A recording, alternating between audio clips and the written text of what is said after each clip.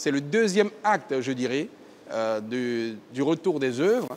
Et c'est euh, un acte qui nous permet, une fois encore, euh, d'occuper la scène internationale, la scène culturelle, la scène diplomatique, la scène politique, positivement, comme nous savons le faire également en Afrique, même si, hélas, la presse internationale est plutôt encline, disons, à parler de ce qui va mal. Mais pour le Bénin, désormais, on parlera de ce qui va bien parce que nous avons beaucoup de choses qui vont bien et nous y travaillons. Nous sommes ici aujourd'hui avec l'ensemble de l'équipe d'organisation pour pouvoir euh, euh, passer en revue la préparation de, ce, de cette exposition euh, exceptionnelle. Et le mot n'est pas galvaudé en la matière.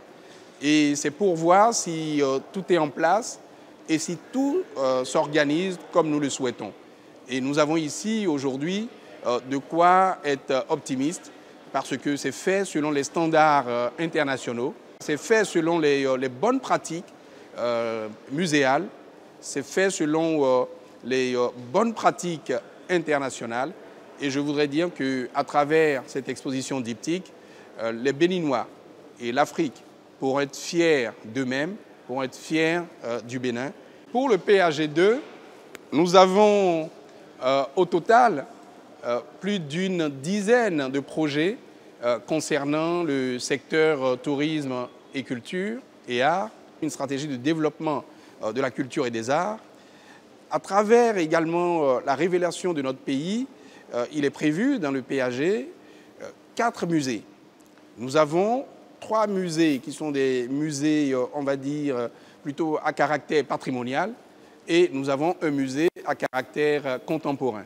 Tous ceux qui peuvent se déplacer, je voudrais demander à tous ceux qui auront un peu de temps pour venir ici, euh, dans notre maison commune, à la présidence de la République, qui scelle évidemment euh, notre nation, qui représente la République.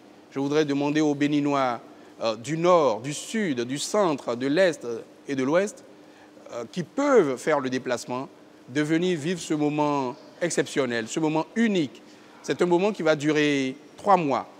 C'est un moment qui est suffisamment long pour que chacun puisse euh, s'organiser pour venir.